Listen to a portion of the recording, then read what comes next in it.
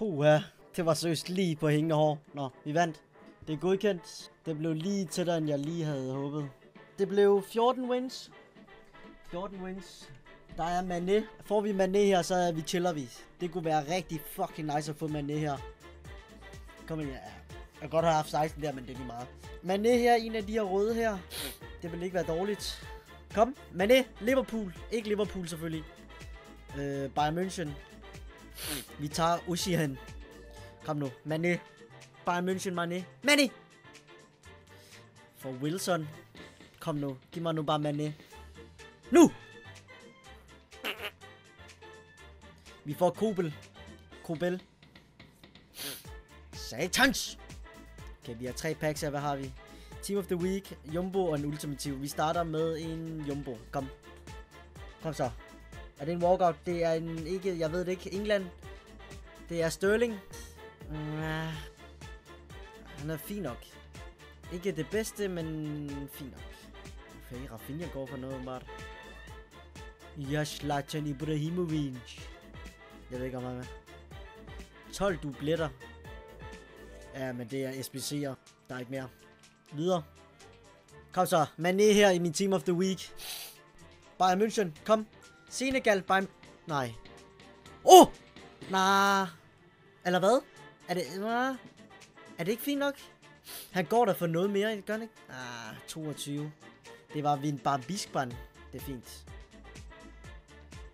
Ej, hvor kunne det ikke have været Ronaldo, men prøv at overveje, hvis det var Ronaldo. Ultimativ pakke. Kom så. Det er lort. Det er noget fucking lort. Hvad skal jeg bruge ham der, Rodri? Men altså, Spanien er søgt pis til fodbold. Uh, det giver En eller anden useless en her alligevel. To inform i en pakke. Vi får også Pedri. Eller så er det lort. For øh, Rasmus Falk. Fy for fanden. Hvad er Rodrigo 20k? Det tror jeg, jeg ved det ikke. Den er untradable. Hvad? Ingen af kortene kan handles. What the fuck? Road to, en one to watch, road to knockout eller regelbryder. Men den er god. Okay chat, kom. 120 kroner. Vi siger alle sammen sender en 10'er, så er vi der. Ej, var det dårligt. En, en dårlig packs der. Du kan få Ronaldo. Nå, skal vi lige se, om der er nogen SBC'er. Har du åbnet? jer, og jeg fik lort. Er uhyggelige uh, dueller, er det noget, man skal lave, eller er det sådan lidt med? Uhyggelige dueller, den er pok. Den er banger. Er den det? Skal vi lave den? Luksus spillerpakke, hvad er det? For Ace, når du siger tingene på dansk vi kan godt lave uhyggelige dueller, så lad os gøre det. Vi laver en hel masse SBC'er, og så øh, åbner vi bare alle packsene. Vi laver nøglekamp, vi laver uhyggelige dueller, for jeg har fucking meget foder. Er det den, der hedder Spooky Matchup?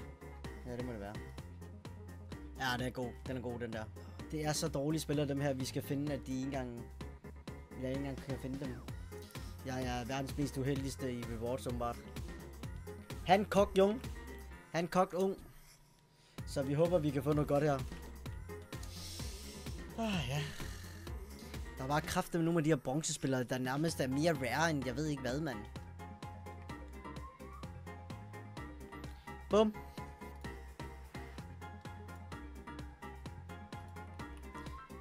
Loki, ham her ikke, det synes den grimmeste FIFA-spiller, der er. Ham, der kommer, jeg viser ham nu. Ham her. Han ligner sin spøgelse også, mand. Det ligner, at du er inde i et hotel. Ja, jeg bor på et hotel. Jeg bor inde på et hotel, fordi jeg sådan, du ved... Kender I D'Angleterre? Jeg tænker bare, det er lidt federe der at have et værelse, det ikke? Sådan, det er lidt mere boss. Godin. De er god, Godin. God gamle. Næste. To lækre pakker i missen. Spillere fra samme klub. Max 5. Det er så, så kedeligt at tjekke hold, synes jeg. Og jeg, jeg ved ikke rigtigt. Det er bare så useless. Imo. Det er en af mine G's. En af top G. Pepe. Nicolas Pepe. Hvis vi får manden nu, ikke, så griner jeg og græder og danser. Nej, jeg har aldrig haft en damechat. I alle sammen er blevet bamboozlet. Så er vi klar. Så er der en mini pack opening. Uhyggelige dueller. Øh, lad os se, hvad det kan. Fem packs. Folk siger, at de kan være gode. Folk siger øh, altid noget lort, synes jeg. Hvad får vi her? Vi får Solanke. Øh, nej tak. Oh my god, det er tradable packs. Det kan jo lidt noget. Det er tradable packs. Det kan jo noget. Tre sjældne, kom så. Er der flere sådan nogle her, man øh, kan lave som... Øh... Man kan low faktisk bare sætte dem der til salg. Er nøglekamp også tradable packs? Er det en walkout? Det er ikke en walkout. Oh. Nej, jeg ved ikke, hvornår det er en walkout. Ja, jeg fatter det i stedet ikke med de, med de kameraer der. Træneren gik for 5k. Ah, ja. Det kan ske, ikke? Kan du egentlig huske mig? Nej. Ikke med en, en boostermand. Walkout, kom. Ah, det er godt. Per Emil. Jeg, jeg kan ikke se, hvornår det er en walkout. Jeg fatter det stadig ikke. Jeg kan se noget med kamera, så ved jeg, at det er en walk. Eller en board, hedder det. Er der flere? Når den, den der streger, og kameraet sådan drejer. Okay. Det skal vi lægge mærke til med det. Er der flere, øh, jeg skal lave? Nøglekampe? Uh, jeg synes bare, de er så dårlige, nøglekampene. Men er nøglekampe tradable? Burde man lave den her lille stjerne? Nej. Prøv at se, det er en normal pakke, så er det en premium guldpakke, og så er det en spiller Elektrum. Det synes jeg bare ikke er worth it. Jeg synes bare ikke, det er worth it. Synes I, det er worth it, den her? Okay, vi laver nøglekampene så. Lad os gøre det. Og det er tradable packs. Det er tradable. Okay, lækkert. Ham her, han er godt nok basic. Rakitic.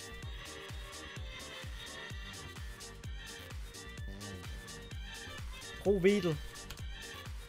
Altså, jeg kan godt mærke, at du ikke plejer at streame om... Ja, men der altså, det er helt underlige mennesker, der, der, der er her nu, synes jeg. Altså, jeg synes nærmest, de er mere normale om, om morgenen, eller hvad mig?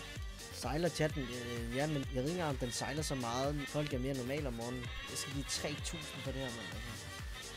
Hvorfor skifter han ikke bare ud? Det er billigere for mig. Mig og Maddie, vi er en one-man army stream her.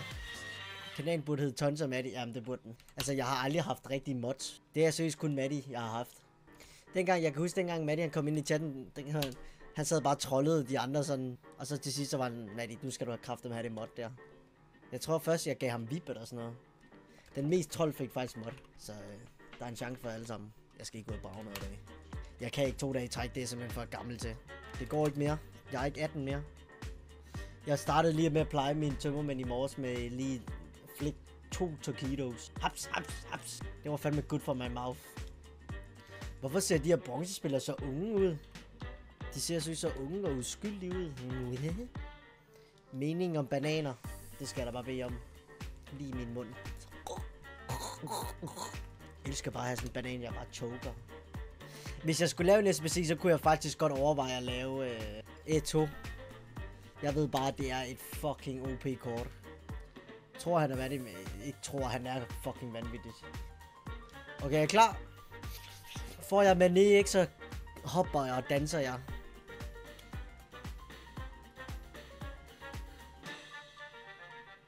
Ja, det er godt. Vi får paid.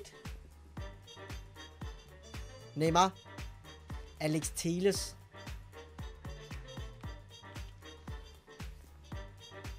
Så. Elektrum. Jeg synes, de der Elektrum er så lort, mand. PP. Eller hvem er det? Fona. Hans SPC var god sidste år. Kom så.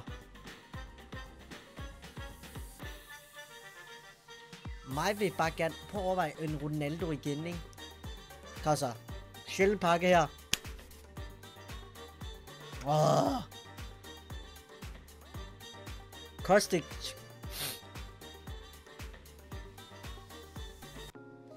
Det er fint nok.